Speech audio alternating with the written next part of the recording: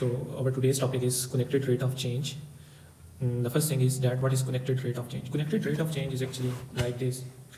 If we have two things, uh, mm, just uh, consider this thing, a sphere, its volume is V and it, its radius is R.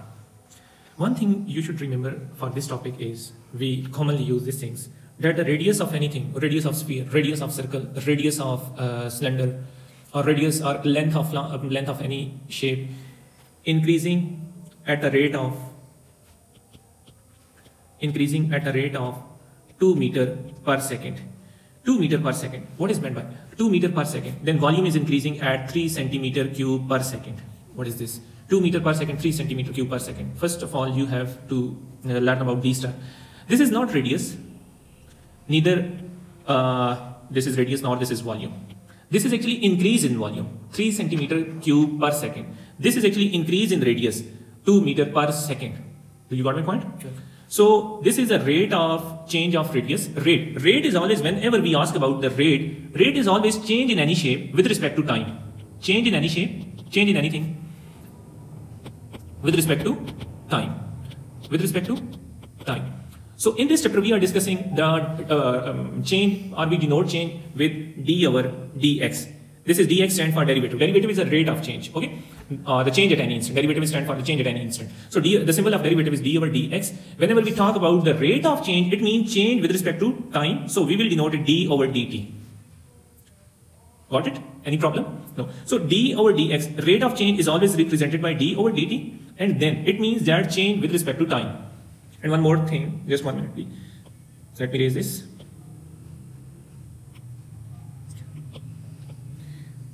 Here I write the radius rate of change of radius is 2 centimeter per second. So I said this is not radius. So what it should be rate of change in radius. So this is change in radius with respect to time. So we will write it dr over dt.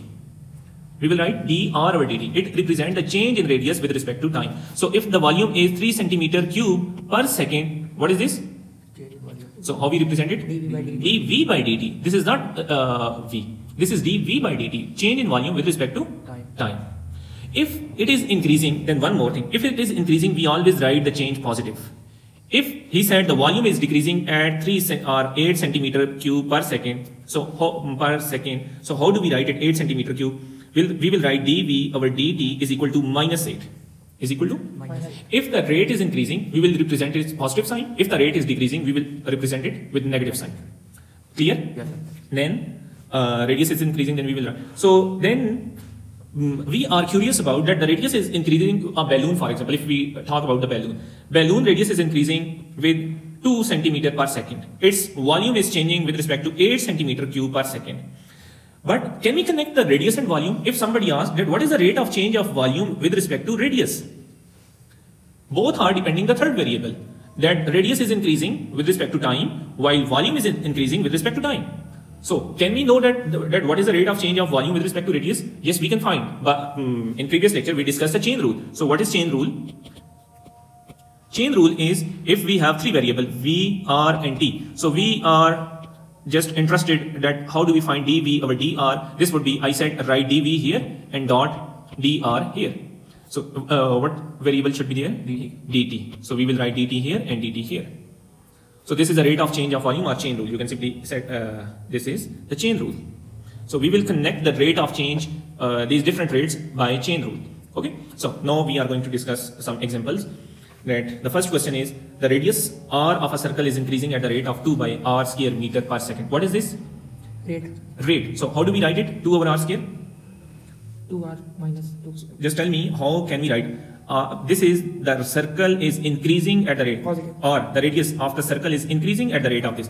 So very well done. We will write dr by dt is equal to 2 by r square meter per second. Got it? Then the next find the rate at which the area.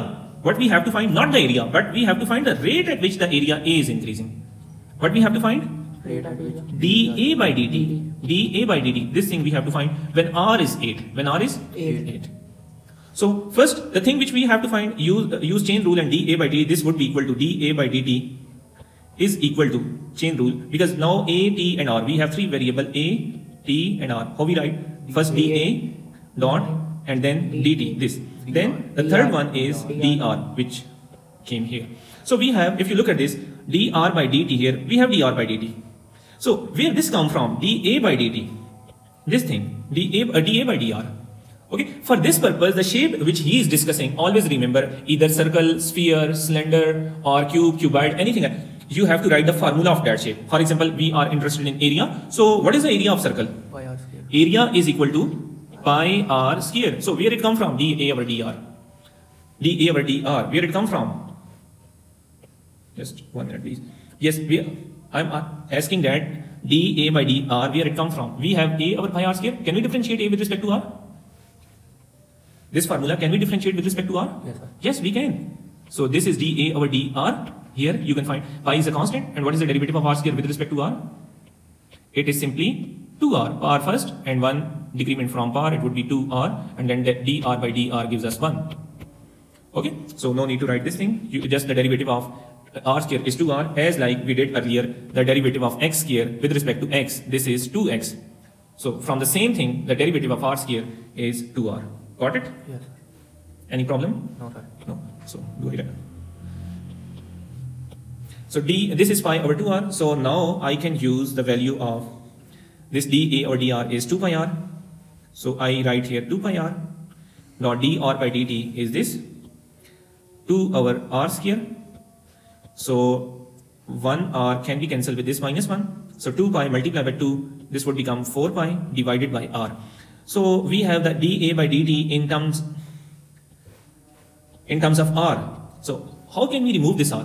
By putting value. We have given the value of r. r is equal to 8. So 4 pi divided by 8, this would become pi by 2 meter. The unit of area is meter square and the unit of time is second. So this is second meter square per second or m2 minus 1, uh, s minus 1. You got it? So this is our rate of change. So let's discuss some more example. This is question number three I took from internet. The side of a cube is increasing. If you look at this, the side of cube is increasing. So first cube, uh, uh, that shape having all sides are equal is called cube. You know that cube is all sides are equal. Because uh, he do not represent the side of a cube, so I'm taking 8x. Solution of question number 3. So the side of cube is x. So here we have given the side of cube is increasing is 0.2 centimeter per second. How do I write it? dx by dt. Very well done. dx by dt is equal to 0.2 centimeter per second. Then find the rate of increase of the volume. Find the rate of increase of the volume when the length of the side is 4 centimeter cube. Uh, can you figure out what we have to find? The rate of increase in volume. So how do we write it? Dv by dt. dv by dt. This thing we have to find. dv over dt is equal to Question mark. question mark. And when the side is 4, it means when x is 4. We will use at the end. I hope you know that where we have to use x is equal to 4. So d, first write the chain rule for this thing.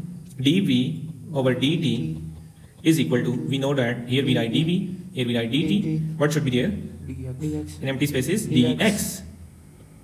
So we have dx by dt, this thing here. Uh, where it come from dv over dx? The change in volume with respect to side. Where it come from? This yes, we use a formula because we know that the volume of cuboid is equal to x cube. All sides are equal, then the volume of cuboid base area into height. So base area into height. So base area is all x here, while height is also x. So this would become x cube. Here we can find the dv over dx. So it would be 3x square. 3x square. Use this thing into this formula. So 3x square log dx by dt is 0.2. So where the value of x come from? Four. This. Oh, sorry. 3x because we have to use this is 4 square square. into 0.2. So 4 square is 16 multiplied by 3 is 48 multiplied by 0.2. So 48 multiplied by 2 96 and we have decimal after one digit so it is 9.6 centimeter cube Per second. per second because this is the rate of change of volume so it is centimeter cube per second. Yes, sir. Clear? Yes, sir. So the question number four is a spherical balloon is inflated so that its volume increases. Its volume increases at the rate of 50 centimeter cube per second. Find the rate of increase of the radius of the balloon when the radius is 12 centimeter. So I'm just giving you the hint. You have to find the spherical balloon is inflated. Let me uh, raise the color of this question. The spherical balloon is inflated that its volume increases at the rate of this. What is this? Dv by dt. Yes, this is dv by dt. dt that is 50. 50 centimeter cube per, Per second. second.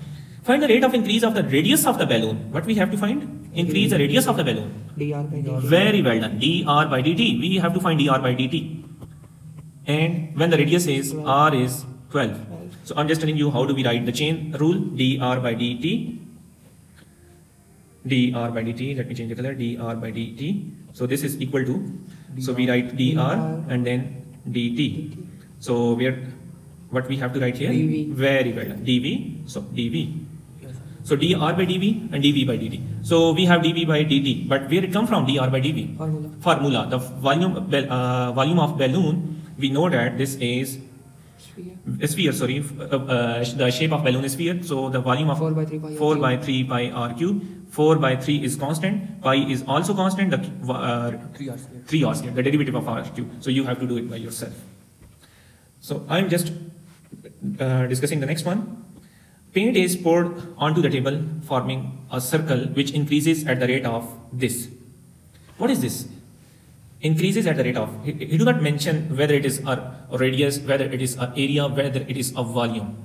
He just only tells us that the paint is poured onto the table, forming a circle which increases at the rate of 0, uh, 2.5 centimeters square per second. What is this? Area. area.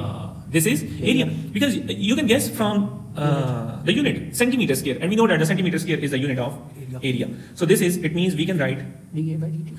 dA by dt is equal to 2.5 centimeters. 2.5 centimeter square per second. Find the rate at which the this find the rate the radius is increasing when the area of the circle is 20 pi. Mean area when area is 20 pi centimeter square. What we have to find? dr by dt. Very well done. We have to find dr. by dt. So how do we write the formula of chain rule? This is dr by dt. dt is equal to dr dr left space dt dt. What should be? dA. dA and dA. So this dr by dA, dr by dA, uh, dA by dt. We have dA by dt that is 2.5. 5 Let me change it. 2.5.